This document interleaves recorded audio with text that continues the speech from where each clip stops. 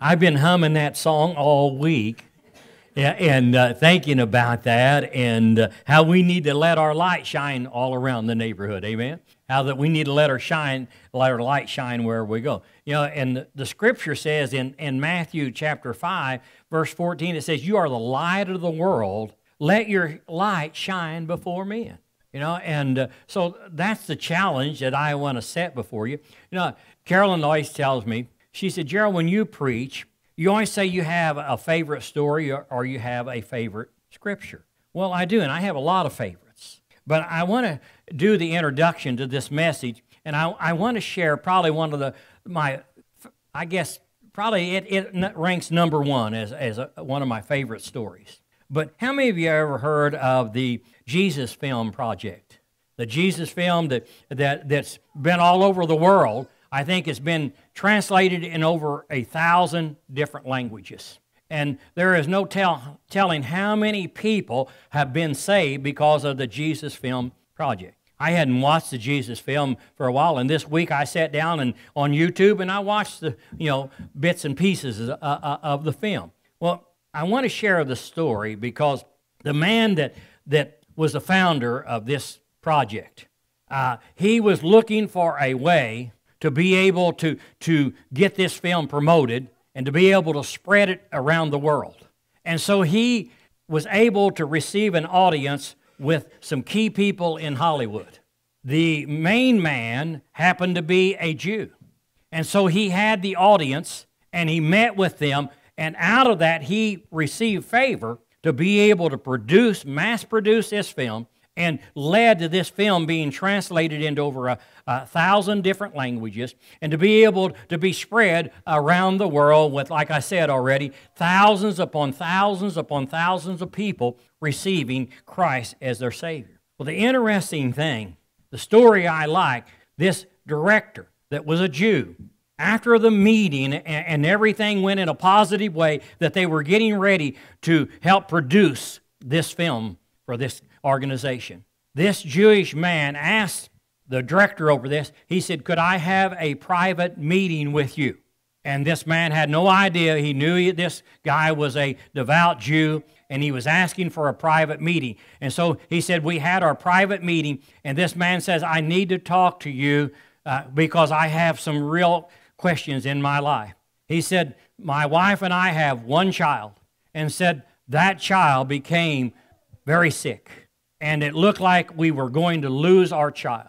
But said we hired a maid, and I was walking down the hallway, and the maid's door was open, and she was on her knees crying and weeping. And I thought, what's wrong with her? And so he said, I asked, said, what are you doing? And she said, oh, I am praying for your child that Jesus Christ will heal your child and restore your child's health. And said, God did that and said, I quizzed her, and she said, Since I have become your maid, God spoke to my heart that I need to pray every day for you and your wife and your child that God would take care of you. And so he says, We didn't understand, but he said, I decided that every day I would have the maid come in and she would pray for us. And said, she, for we would leave, or we'd go anywhere, she'd have prayer over us. He said, as life went on, he said, my wife got a terminal disease. And he said, the maid began to cry out. And he said, my wife was in the hospital and it didn't look like she was going to live. The maid kept praying. And he said, I was so frustrated and so searching for some answers. And he said, I left the hospital and I walked towards the synagogue. And he said, when I got to the synagogue, they were so busy they didn't have time to talk to me. So he said, I just wanted to walk, and he said, I started to walking, and I came to this little storefront church. And he said, it felt like something just directed me in there. And he said, they were in there singing and praising and worshiping God. And he said, this young pastor come up to me and he said, Sir, can I help you? And he said, Me being a Jew, I didn't know what to expect, but he said, My heart was heavy. And I just told him, He said, My wife's dying. My world's coming to an end. I don't know what to do. And so he said, that young pastor took me by the hands and prayed for me that God would restore my wife. He said, I went on home. He said, the next morning I got up and I went to the hospital. He said, the doctor was waiting for me. And he said, I've known you. I thought you was a devout Jew. He said, I am a devout Jew. He said, then why was this young Protestant preacher sitting up all night praying and cried for God to heal your wife? And he did. Can you imagine that? Healed his wife and said, God restored my child, God has restored. But he said, the reason I need to talk to you, he said, my maid's died and I don't have any connection. What am I going to do? And the founder of the Jesus Film Project said, I can help you. And he shared Christ with that Jew. And that Jew got on his knees and he asked Jesus Christ to come into his life. To be, isn't that a power? That's the story behind the Jesus film, guys. Can you imagine the little maid let her light shine? Jeopardize her position, maybe, because of them being devout Jews. But yet she was willing to say, I'm going to pray and I'm going to be bold enough to tell you what I'm doing. Can you imagine him being led to that little storefront church? And yet, that pastor, with unbelievable compassion, not even knowing them, went and stayed all night crying out to God that God would heal that lady, and God did. Isn't that powerful? And yet, that was the beginning of this movie of uh, seeing thousands upon thousands of people being saved through that movie. Isn't that a powerful story? You know, in light of that, the challenge I believe we face in the year 2015 is to come to the decision that we have a responsibility to let our lights shine in Ava, Southern Illinois, wherever we live. Can I hear an amen out of that? Now, I got, actually, I'm going to give you back to back stories, okay? This has been my story week. Have you ever heard of the little man on George Street in Sydney, Australia? Joe's hand. Anybody else ever heard of the little, it's called the little man on George Street in Sydney, Australia. Okay? I didn't realize it, but I found out, Joe, did, uh, uh, there's a book written about this man. I've always heard the little man on George Street. The guy's name was Frank Jenners. And Frank gave his heart to Jesus Christ, and he owned a little business on George Street in Sydney, Australia. And because God had touched his life so powerfully, he made a commitment that he would serve God, and every day of his life that he lived, he would tell 10 people this simple question. And they talked about the little man, said people would be walking down George Street, and this little gray haired man would pop out of, out nowhere, and he'd pop out of his business, and he'd say, Excuse me, sir, may I ask you a question?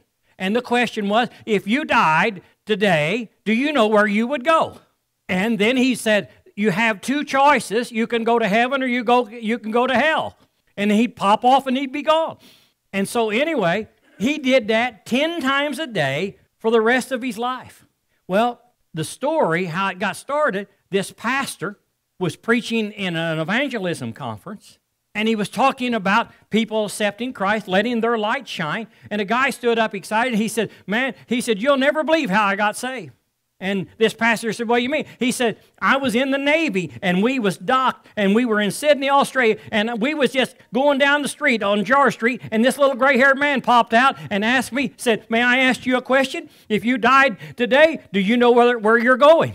He said, It set me back. It upset me at first. He said, I thought, how dare somebody challenge me with that question? But he said, I couldn't get it out of my heart. He said, I found the chaplain. I gave my heart to Jesus. Amen. And this story goes on and on and this pastor or this pastor was doing these evangelisms and every place he would go he would share a little bit of that story and somebody would jump up and say i met that man on george street. Now here's the interesting thing.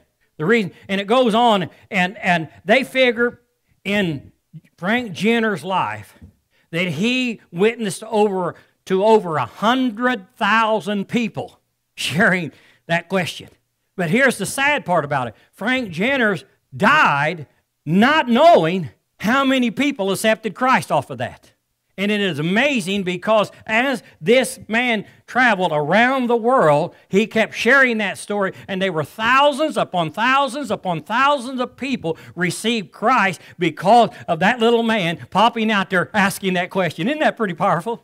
And, you know, I didn't know this, Joe, but in the book, this evangelist made his way back to Sydney, Australia, and met Frank Jenners and told Frank Jenners what had happened, and Frank Jenners died right after that.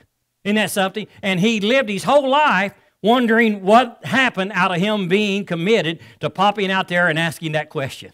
And I thought, wow, what a powerful story. And yet, how to let his light shine. And, and, in the articles in the book written about Frank Jenner, he said, sickness or whatever, through the wars, he said, I was faithful to sharing that 10 times a day.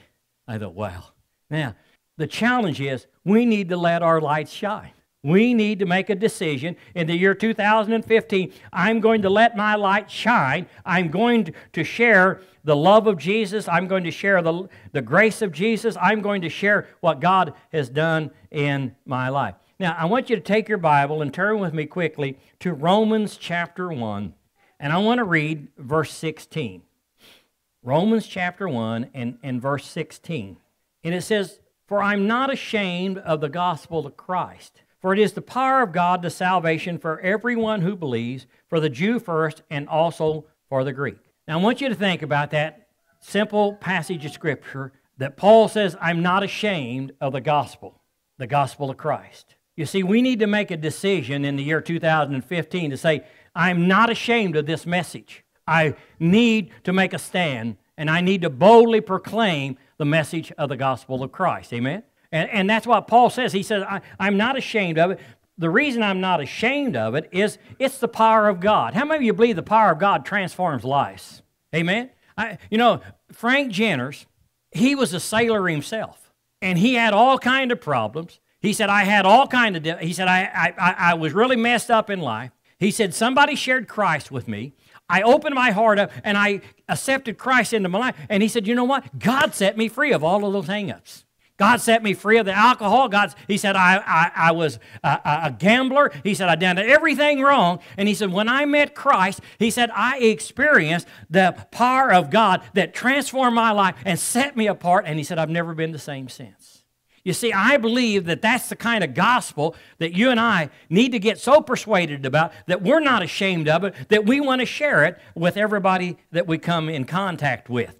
And you know, I, I want you to think about it. You know, here's one of the most powerful passages of Scripture when you think about the power of salvation. It says, The same Spirit that raised Christ from the dead. Now think about this. The same Spirit, Romans 8 11, the same Spirit that raised Christ from the dead.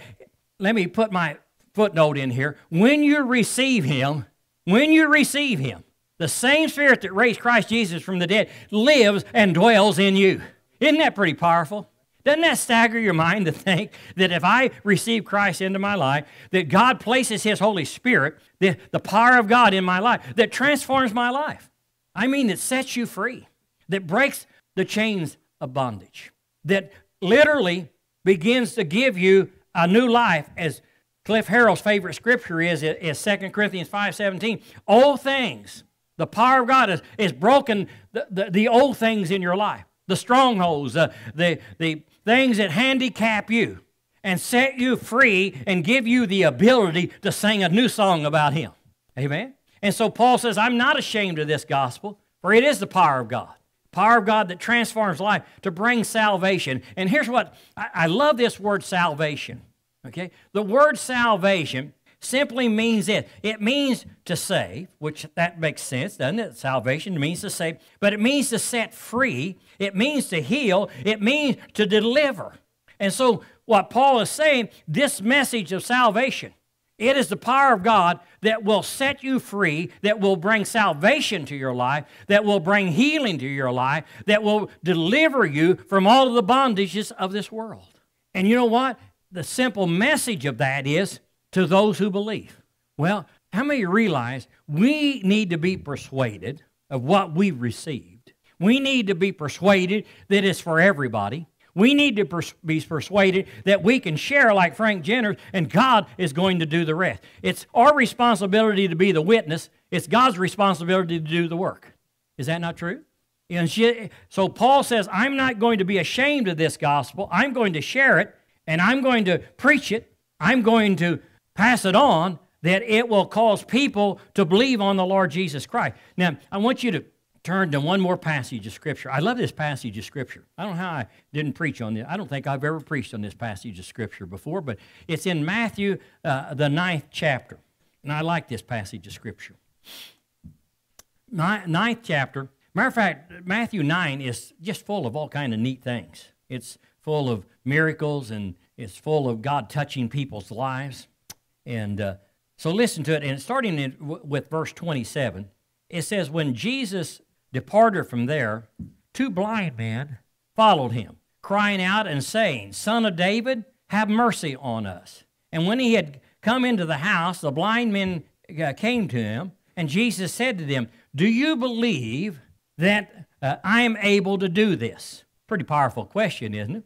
Do you believe that I am able to do this? And they said to him, Yes, Lord. And then he touched their eyes, saying, According to your faith, let it be uh, to you. And their eyes were open, and Jesus sternly warned them, saying, See that no one know it. But when they had departed, they spread the news about him uh, in all of the country.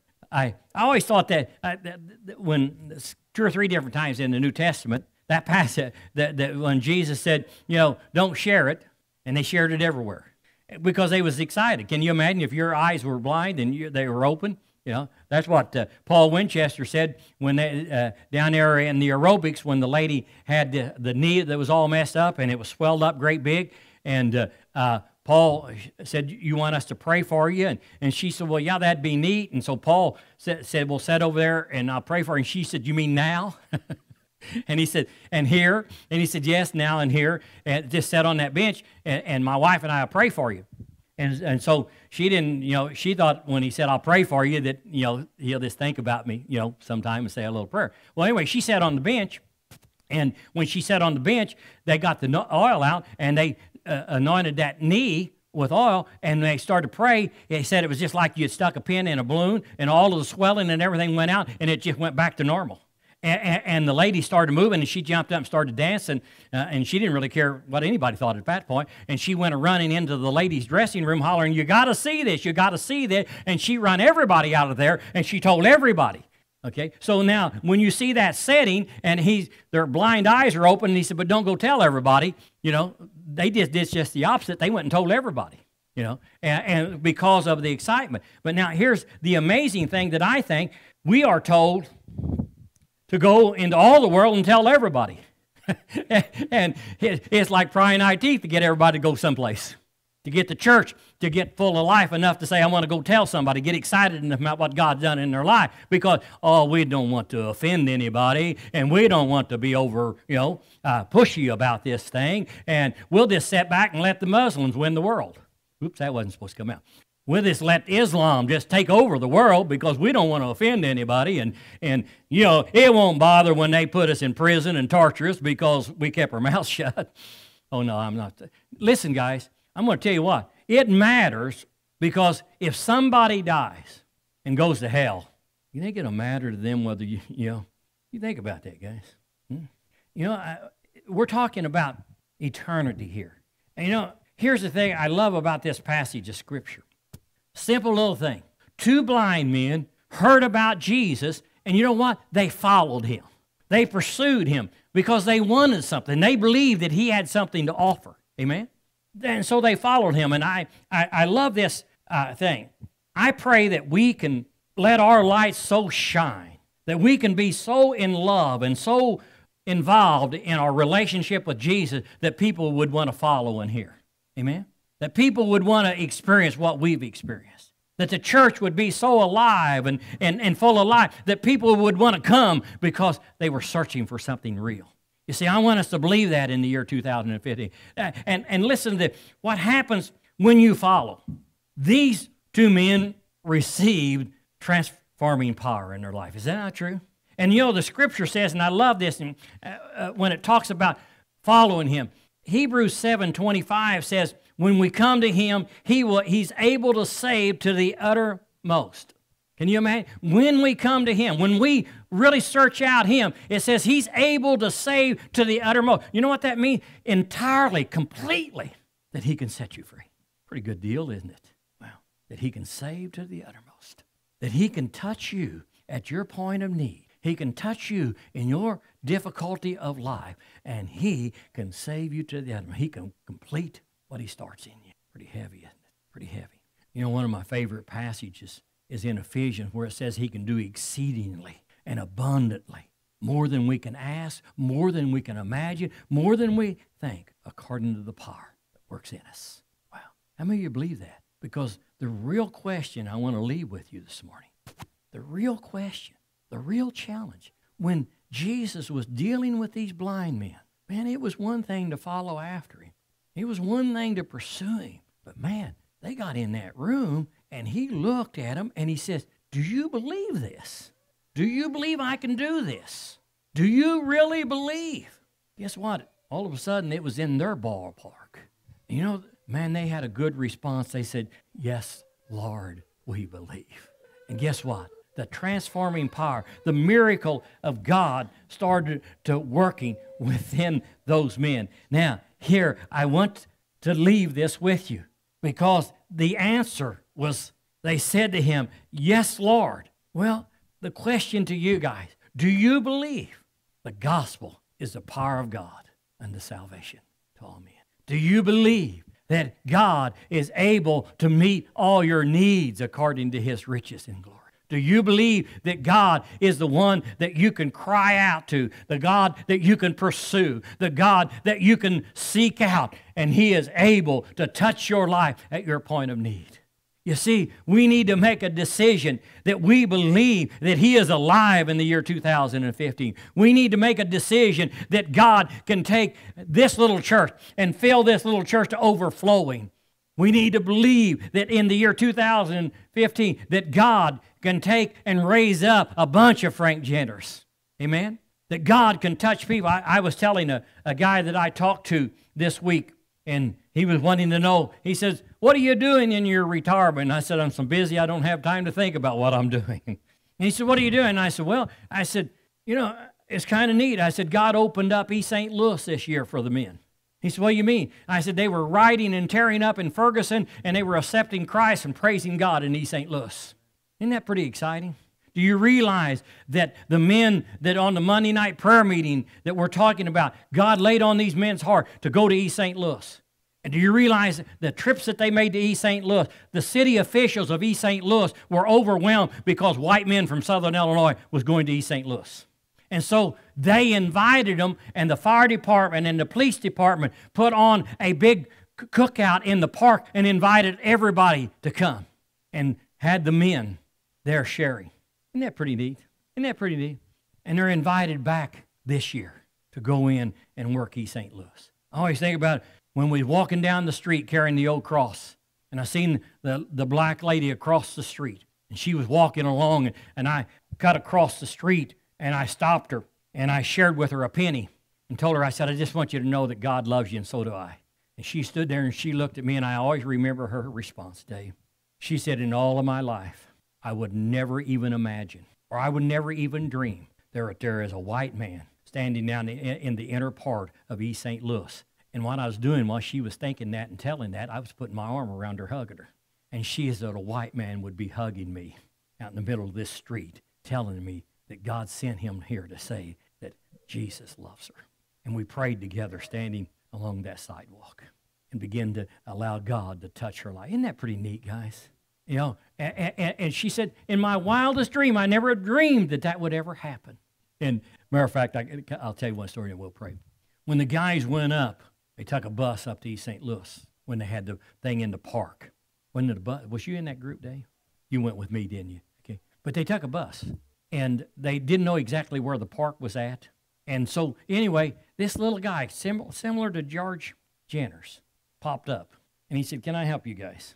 And he said, "Well, we're invited. They're having a big thing at the park and we're lost." Guy said, "Just follow me."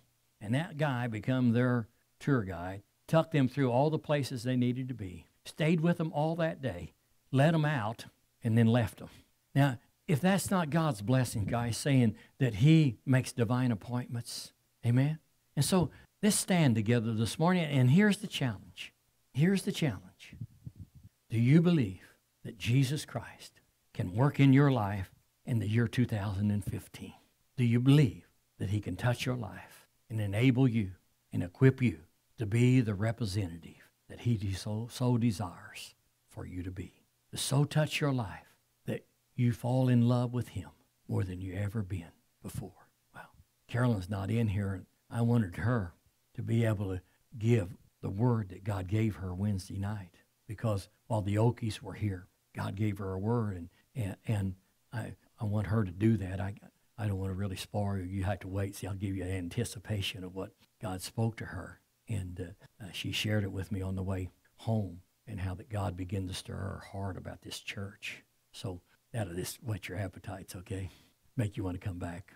But you allow God to softly speak to your heart. I believe He's more than enough to meet every need we have. He's more than enough to help you be a success in the year 2015. Those two blind men said, Yes, Lord, we believe. Yes, Lord, we believe. I want you to leave here. You know, doesn't it kind of, yes, Lord, yes, Lord, yes, Lord, yes, Lord, yes, Lord, yes, Lord, yes, Lord, yes, Lord. Wow. Yes, Lord. Yes, Lord. Yes, Lord, you're able. Yes, Lord, I believe. Yes, Lord, you can do it. Yes, Lord, you can open doors. Yes, Lord, you can make divine appointments. Yes, Lord, you're a God that makes a way where there seems to be no way. Doesn't that excite you? What does me? Wow. Just pray together. And as God speaks to your heart, leave here saying, Yes, Lord. Yes, Lord.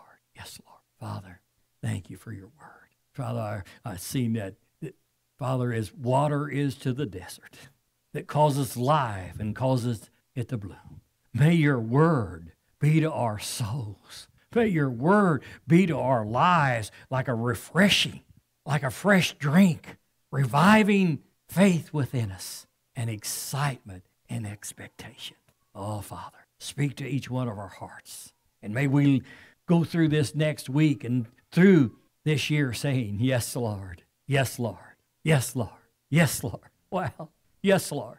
You're more than enough. Thank you, Father God. Meet every need here, touch every life. Work with your grace and your power and your loving kindness. We thank you for it in Jesus' name. Amen. Amen. Hug somebody around you. Tell them you love them in Jesus.